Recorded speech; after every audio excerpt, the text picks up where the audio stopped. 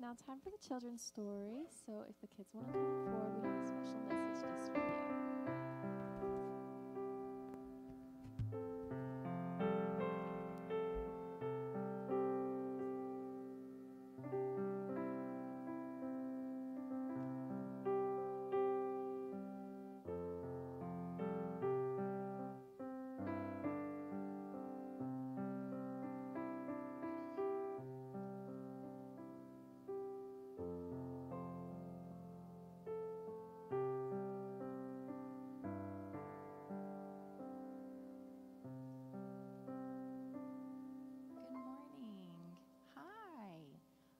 Glad to see everyone on this rainy Sabbath morning. There are a lot of you here this morning. And we've been singing a lot of fun Christmas songs this morning. Um, Christmas is right around the corner. So we have been decorating at our house. We've been singing Christmas songs. We've been listening to Christmas songs. How many of you have been listening to Christmas songs at your house? How many of you have been listening to Christmas songs for a long time already? Yeah. we started early too because we love them so much. What are some of your favorite Christmas songs? Does anybody have a favorite one that you like to sing? What's your favorite Christmas song? We Three Kings. Oh, yeah. We're going to be talking about that this morning. Who else? What's one of your favorite Christmas songs? Jingle Bells. We love Jingle Bells at our house. We also like songs like Deck the Halls because we love to sing Fa la la la la. That's a fun one to sing. And we were listening to Christmas songs this week, and one came on that we started talking about. It's called The Little Drummer Boy. How many of you have ever heard this song about the little drummer boy? Do you know that story? Yeah. So this is not a Bible story, but this is a, a story and a song that we're going to talk about this morning. And it has a really special lesson for us this morning. We're going to start off with Three Kings. So I'm glad you talked about the song We Three Kings.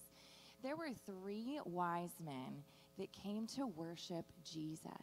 And this might have been what they looked like. They might have come with lots of people. They might have had lots of money. We're not sure, but they brought really expensive gifts to Jesus. And they might have been dressed really, really nice looking and really wealthy. So when they came into town, people took notice. And they were worshiping Jesus and they brought expensive gifts for him because they wanted to worship him and they loved him. Well, while they were worshiping Jesus, a little boy was walking by and thought, What is going on? I see lots of expensive gifts and maybe lots of people. And so he got closer, and the wise men turned around and saw him walking by, and they said, Come, come and see the newborn king that we're worshiping. So he got a little bit closer and he looked and he saw Jesus. And he looked around and everybody was worshiping Jesus and they had really nice, expensive gifts. And he thought, wow, this must be a really special person to be born a king. He said, well, I think I would like to worship him too, but I'm poor. I don't have a lot of money. I don't have a lot of expensive things to give to Jesus. But he had something in his hand. Does anyone know what he had in his hand? A drum. You're exactly right. He had a drum. He said, Well, I don't have anything to give to Jesus, have something that I could do for Jesus. I have a drum. He said, I wonder if I could play my drum for Jesus. I don't know if you can see in this picture, he's facing Jesus and he has a drum in his hand. And this might have been what it could have looked like. So he thought, he asked Mary, he said, Shall I play for Jesus? Can I play my drum for him? And Mary nodded. And so he got closer to Jesus and he sat down and he took out his drum. And he took out his drumsticks and everybody got quiet and listened. And he started to play brum, brum, brum, bum, bum. And the wise men listened and Jesus was listening, Mary and Joseph were listening, and the song says that even the animals were nodding to the rhythm of the music that he was playing. He did his best for Jesus, and he was so happy that he could do something for Jesus. And you know what? The song says that at the very end of him playing his song, Jesus smiled. Did you know that Jesus loves gifts to him? He loves any kind of gifts. He loves gifts that we give that we can see and touch, and He loves gifts of things that we can do for Him. He loves simple gifts, He loves expensive gifts. If they are gifts given with joy in our heart and given to worship Him. Did you know there were people here this morning that were doing things to worship Him? Did you know there was a worship team up here playing for Jesus?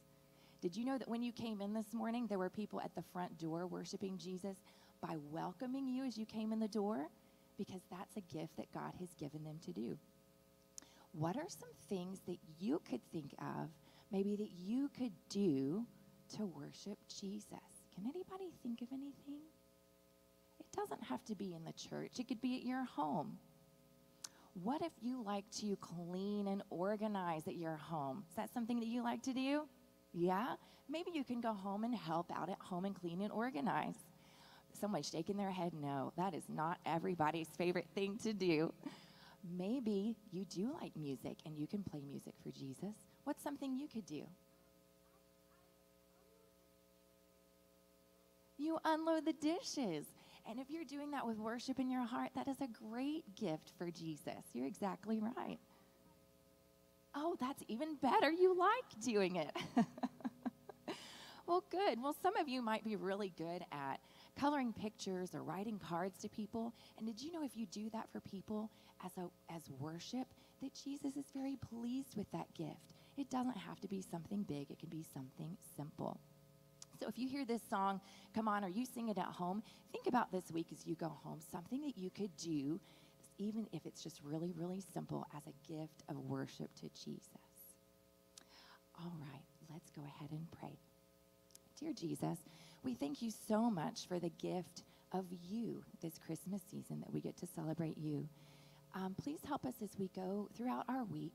Give us ideas of things that we can do, even if they're very simple, as a gift of worship to you. Thank you so much for this beautiful Sabbath morning. We love you. In Jesus' name, amen.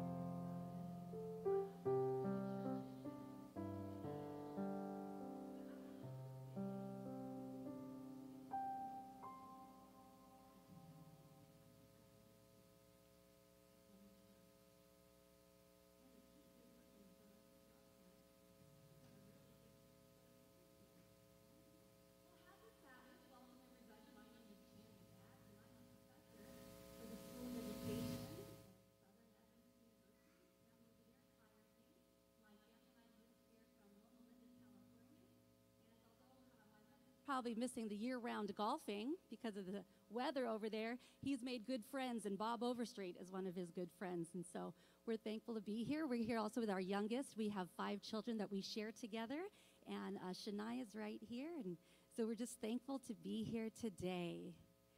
As a professor at Southern, we are at week 15, going into finals next week. And so my week has been very busy. Grading, projects, students negotiating because they have late work, you know, just lots of meetings to wrap up uh, this semester. How was your week? Did you guys have a good week? Pretty good week? Did some of you have a very tough week? Like you're just happy the week? Oh, she raised her hand. You had a tough week, honey? I love the kids here. tough week? Well, if your week was a tough one or it was a great productive one, I pray that the worship today is meaningful to you. I prayed a long time for this message, and I, I'm praying that the words are relevant, they're meaningful, and that as we worship together, you're inspired and motivated for the week ahead. Let us pray. Heavenly Father, may the words spoken this morning be so relevant to each one that as the seeds are planted in each one's heart, Lord, the Holy Spirit will continue to water those seeds because we worship you. We want to have a great week ahead. Thank you for filling this gymnasium with your presence. We know the Holy Spirit is here with us, and our angels are too. Holy, holy, holy. Amen. Many things in life are uncertain, but there is one thing that remains the same change. You will always experience change. I will always experience change. There's an oxymoron, I'm sure you've heard. There is constant change. Children change at such rapid rates. We parents tend to wonder what happened. It's almost like overnight, our children metamorphosize from these cute little huggers, to these taller, bigger, leave me aloneers. Youth experience change so quickly. It's no wonder that a lot of them nowadays are going through frustration, anxiety, and all these other mental health issues. Transitioning into college, I see some of my college students here. Morning. Thank you for coming. Transitioning into college is perhaps one of the most challenging life changes a young person experiences. They have more independent decisions to make, and parent participation significantly reduces. That the college student now relies on their own self management to complete their courses. Dr. Nancy Schlossberg developed a transition theory. She's an author, motivator, and she's a life transition specialist. She's written books such as Overwhelmed, Coping with Life's Ups and Downs, Retire Smart, Retire Happy, Finding Your True Path, and Getting the Most Out of College. Now, she defines a life change transition as any event or non event that results in changed relationships, assumptions, routines, and roles. Some of you may have experienced a change in roles, perhaps a significantly new role when you got married. When you realize that your world is no longer your own world, but you're actually sharing it with someone else, which is wonderful, babe. It's wonderful to share your life with other people, but sometimes you know you want to make your own decisions, but you can't because your spouse your spouse is incorporated in all your decisions. And just like Amos records in the Bible, two must agree to walk together, right? So we're thankful for our spouses. Some of you changed roles, maybe in experiencing divorce or the divorce of your parents. That can turn your world upside down. Some of you had your lives changed when you had children, and then when your children left home to be on their own. Many of you have changed homes, jobs, coworkers, change in management, leadership, church leadership, church membership, change in economics, politics, and sports championships. Change is inevitable, and change is hard. Some changes are desired and answered prayers. Thank you, Jesus. Hallelujah. And some of them are detestable and the complete opposite of what you prayed for. Psychotherapist and author Richard Joelson says regarding life change Since your future may now be filled with questions, it is normal to feel afraid. We live in a culture that has taught us to be uncomfortable with uncertainty, so we are anxious when our lives are disrupted. Change is inevitable, change is hard. A teenage girl living her life as she did in her day. Her life is simple. She is accustomed to the family traditions, and so this young girl helps at home. She makes dinner for her family. She cleans her room. But on her free time, she goes into the village and she talks to her friends, and they talk about the latest news who just got engaged. She is to be a wife and is anticipating a major change in her young life. Mary's life change changed the world forever. She was chosen for change. Mary was given the assignment to birth and to care for Jesus. She was Jesus' mom. I wonder if Mary carried out the typical duties and responsibilities like we moms did. I imagine that Mary cooked and fed Jesus. But I, I wonder if she had to make him eat his veggies or finish all his food off his plate or bless the food. I just I wonder about those things. Um, I, I imagine Mary comforting Jesus when kids were mean to him or when he fell and scraped his knees. I think she did that. I imagine Mary disciplined Jesus. She set boundaries around him to keep him safe, except for when he was 12 years old and went missing for three days. After those three days, Mary found him in the temple, and the Bible records Mary saying, Son, Why have you treated us so? Behold, your father and I have been looking for you anxiously. That's the second question Mary is known and recorded in the Bible to have asked. The first question Mary asks in the Bible is found in Luke chapter 1, verse 34. And if you have your Bible apps with you or your tangible Bibles, old fashioned ones, come on and open them. And we're going to look at Luke chapter 1, verse 34. Luke chapter 1, verse 34. And Mary asked this this is the question How shall this be, since I have no husband?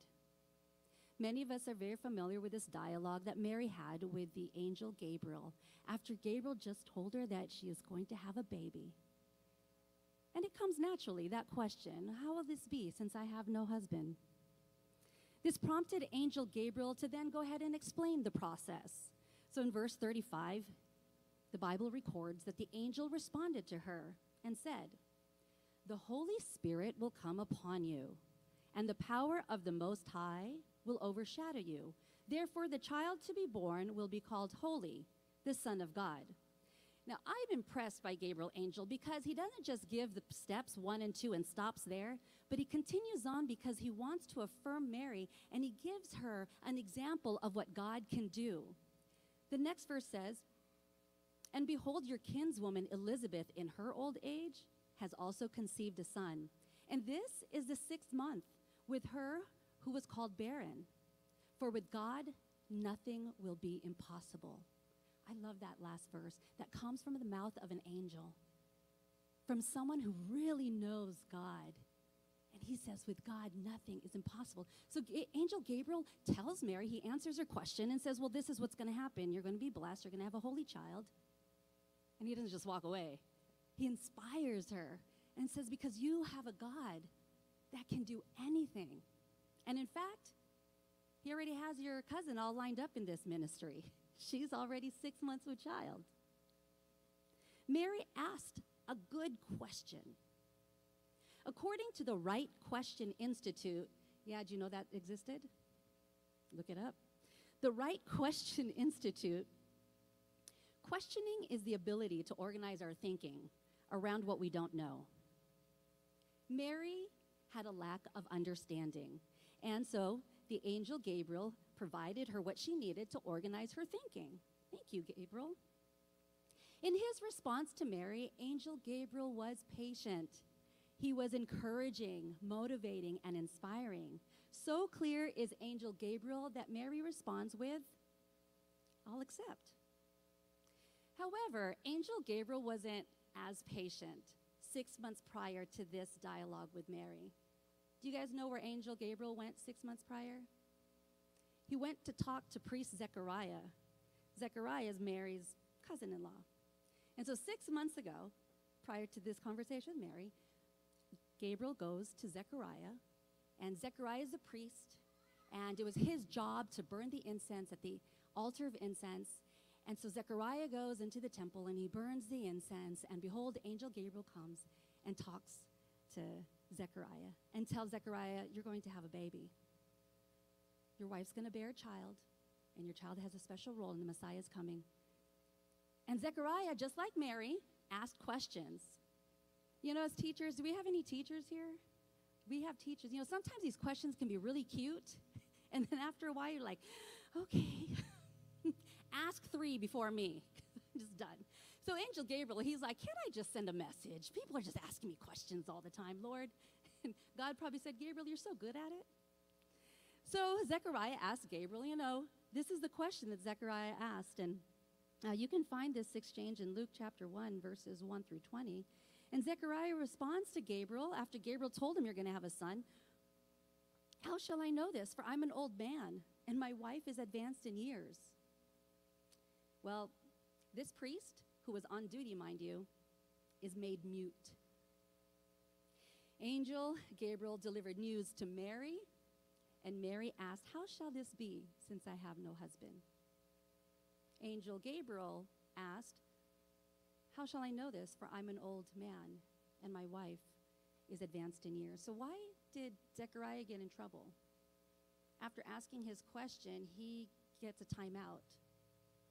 But when Mary asked a question, Gabriel gave her the process, inspired and motivated her, gave her one of those gold stars. What a good question.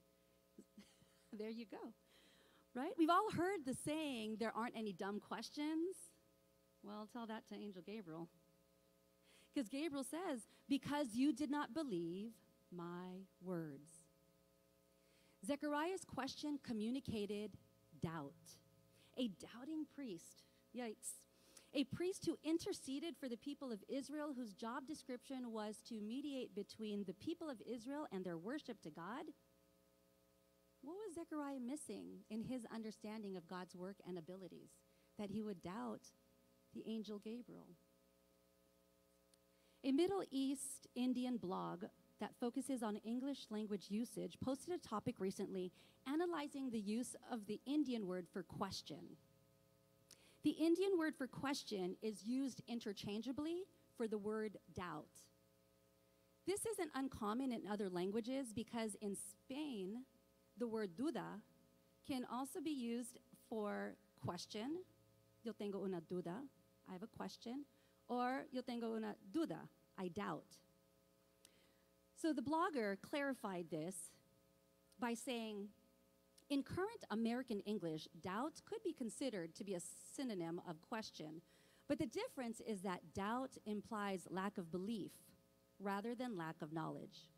Mary's question presented a lack of knowledge, and in return, Angel Gabriel explained the process of the upcoming miracle. While priest Zechariah, on the other hand, proposed a question of doubt and was given a timeout. Priest Zechariah should have known better. Had he forgotten his ancestors? Do you guys remember his ancestors? Abraham and Sarah? Well, they birthed a child in their old age. So Mary asked a question for guidance, not in doubt. Mary knew times were going to be difficult, but she saw the big picture. She saw the acrylic painting of her life and placed God's purpose as the canvas of her painting. She asked not because of her disbelief, but for the process and next steps that she needs to take. Mary knew God was in control. She knew that He is the artist of her bigger picture. And Mary believed in the bigger picture, in the end game, in the purpose. She didn't let the minor details of her upcoming life change dissuade her from accepting her ministry to come. Change is inevitable, change is hard. Mary asked for understanding. She was chosen for change. Luke chapter 1, verse 38, Mary's words here record not a question, but this time she makes a statement. In Luke 1:38 she says, "Behold, I am the handmaid of the Lord. Let it be according to your word." This is a declarative sentence versus her first interrogative sentence. I was an English teacher as I started my field of education, so it's no wonder that I found these connections. And you'll find as we discuss what she said in the, in the Bible that we'll have an interrogative sentence, a declarative, um, we'll have an exclamatory, and an imperative. So for those English buffs, that's just a little side note. But let's get back to the sermon. Okay, um, so Mary declares and affirms Gabriel. She says, I am the handmaid of the Lord. She knows who she is. Mark Twain, famous American author, wrote, The two most important days in your life are the day you are born and the day you find out why. Mary knew exactly who she was and the role that she played on this planet. And so, when presented with the assignment of birthing the upcoming Savior, she accepts. She knew who she was. Now, did Mary know the details required to carry out her assignment?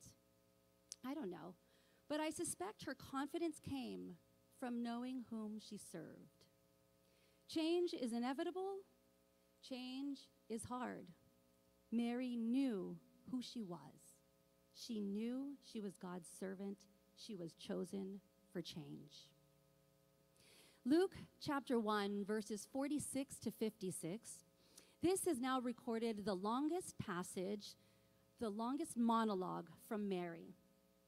Mary's words have been short up until here, but we are given several lines of what Mary said when she met with her pregnant cousin Elizabeth. This is also known as Mary's Song or Mary's Magnificat. And she says, My soul magnifies the Lord, and my spirit rejoices in God my Savior, for he has regarded the low estate of his handmaiden. For behold, henceforth all generations will call me blessed, for he who is mighty has done great things for me, and holy is his name. And his mercy is on those who fear him from generation to generation. He has shown strength with his arm. He has scattered the proud in the imagination of their hearts. He has put down the mighty from their thrones and exalted those of low degree. He has filled the hungry with good times, and the rich he has sent empty away. But he has helped his servant Israel in remembrance of his mercy, as he spoke to our fathers, to Abraham, and to his posterity forever. Mary praised God. Mary didn't think about, oh, I've seen those pregnant women. Pregnancy is hard. She didn't think about that. She didn't think about, "Oh, I'm not even married yet. What's the society? What's the community? What are my friends going to think? She didn't think about that. She praised God for the ministry she's, she gets to be a part of. Psychotherapist, motivational speaker, and author of New York Times bestseller, Don't Sweat the Small Stuff. Has anybody read that book? Tammy has, of course. Tammy's read all the motivational books. Don't Sweat the Small Stuff. And um, I read this book a long time ago. I just didn't realize it had a subtitle. So don't sweat the small stuff. And it's all small stuff. Richard Carlson wrote in the chapter, Be aware of the snowball effect of your thinking. And he says this A powerful technique for becoming more peaceful is to be aware of how quickly your negative and insecure thinking can spiral out of control. Don't raise your hand, but has your negative thinking ever spiraled out of control? Sometimes you can work yourself so up you can actually vomit. I've never done that, but I know people who have. I have worked myself up where I've hyperventilated, and so it can come from your mental faculties to now your physical, right? So he's right when he says that, that we can definitely work ourselves up, right? Notice how uptight you feel when you're caught up in your thinking, and to top it off, the more absorbed you get in the details of whatever is upsetting you, the worse you feel. One thought leads to another and yet another until at some point you become incredibly agitated. He gives an example. For example, you wake up in the middle of the night and remember a phone call that needs to be made the following day. Then, rather than feeling relieved that you remembered such an important call, you start thinking about everything else you have to do tomorrow. You start rehearsing a probable conversation with your boss, getting yourself even more upset.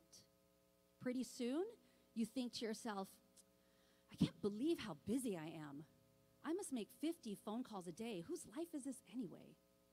And on and on it goes until you're feeling sorry for yourself. Richard, uh, the author, continues in saying, It's impossible to feel peaceful with your head full of concerns and annoyances. The solution is to notice what's happening in your head before your thoughts have a chance to build any momentum. The sooner you catch yourself in the act of building your mental snowball, the easier it is to stop. Mary invested her energy in praising and in re- rejoicing God rather than sweating the small stuff. Mary had the option to build mental snowballs, but instead she built a heart of praise. Change is inevitable, change is hard. Mary praised. She was chosen for change. Moving forward now from the book of Luke to John, John chapter 2. John chapter 2, verses 1 to 11, records the wedding at Cana. And here we're going to take a look at just one more thing Mary said. And this time it's an imperative sentence. Again, for those that are interested. this is an imperative sentence. So Mary says here at the wedding, and hopefully most of us are, are familiar. If not, Mary and Jesus, they're at a wedding, the wedding reception, and wine was a big thing. I'm not a theologian, so I don't know the significance of all of that, but and if the wine was fermented. I don't know. I just know that wine is a thing, okay, in those days. And so they ran out of wine. So Mary comes back to Jesus and she tells her son, they have no wine. Jesus gives her his spiel. She goes back to the people and says, Do whatever he says. Here in this imperative, Mary takes charge. Mary's a little bit older now because Jesus is about 30 years old. She's had experience raising him. She's not asking any more questions, huh? She didn't go to him and, she, well, she didn't go to the wine and say, There isn't any wine. She didn't come back to Jesus and said, How can this be? For there is no wine. She didn't. She didn't ask more questions. She said, They have no wine. She went back to the people, Do what he says. Empowered. Mary takes charge. She recognizes a need and calls on Jesus. She recognizes a problem and looks for a solution through Jesus. Mary, here in her older age, is cognizant of the needs of the community. She mediates for the people who lack wine. She served as a bridge mediating between the people and Jesus. In identifying a need for the community and talking to Jesus about it, coming back from Jesus to the people, Mary is the very first intercessor. I'm not sure why Mary wanted to make a difference at this wedding, but it's obvious that Mary knew something about Jesus that nobody else at the party did. In her knowledge about him and in her rela- relationship with him, when prompted with a problem, Mary came to Jesus. Jesus invites us to seek him with all our hearts, our souls, and our minds. He invites us to come to him when we are burdened and heavy laden, and he will give us rest. Many of you will find yourselves in a setting, in a community setting, where the, you're the only one that knows Jesus. You're the only one that's had a life change and experience with Jesus. And you might know something about Jesus that nobody else around you knows. It's time to mediate. Change is inevitable and change is hard. Mary came to Jesus and Mary made a difference. Perhaps you have a testimony of life change or you're in one now. Imagine if, like Mary, you asked God for the next steps. What amazing things would God do for you? Or what if you affirmed who you are every single day and you said, I am the Lord's servant. I am put on this planet to dot, dot, dot. You fill in the blank. Mine is to raise children, take care of my husband, and mentor others. What's yours? Imagine what doors God would open for you if every single day you decided not to sweat the small stuff and instead rejoice and praise Him. I wonder if you could, as a result of the changes in your life, develop a desire to mediate between the community and Jesus, or between your family and Jesus, between your students and Jesus, your teachers and Jesus, your neighbor and Jesus. So, my friends, during this Christmas season, when we typically think of Mary with child on a donkey or kneeling by a manger, let's remember that she is more than that. Mary exemplified a favorable response to change. Change is inevitable, change is hard. You all were chosen for change.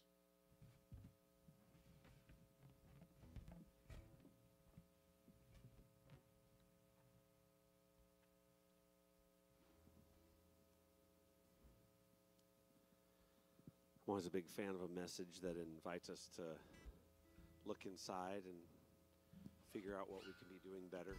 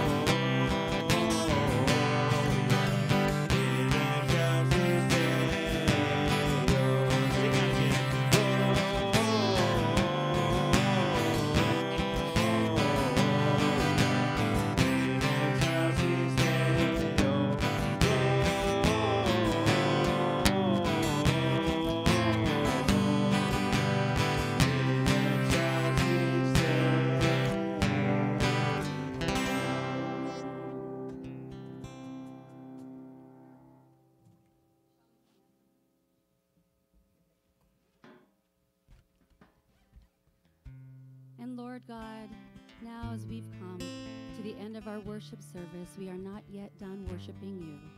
As we leave from this place, Lord, we accept any changes in our lives that you find fit, that we may mediate between the community and Jesus. As we move forward, Lord, give us a great week. Give us opportunities to minister to others. Thank you for the life changes. May we find you in every single detail of our lives. Now, brothers and sisters, may the God of love, hope, be yours now and forever. Amen. Uh, just a few announcements before we uh, depart.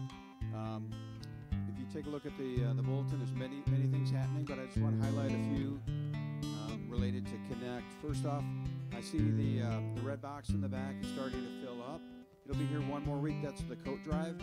So uh, there's uh, a great need for that in our local community. So um, thank you for all who have donated, and one more week. Um, if you have time to, or if you're willing to uh, donate some of your lightly used coats. Uh, also tonight, our social committee has a, uh great event planned. We have um, many things happening tonight. Is, um, so the gingerbread house party is today. It's at 6 p.m. Is that right? 6 p.m. at the Go Forth Room. Uh, they're going to build gingerbread houses, pizza um, for dinner. So please join. And then after that, since you're so close, there's a uh, the sixth, seventh, and eighth grade boys have a basketball tournament at the high school, middle school. You can go from the making gingerbread houses to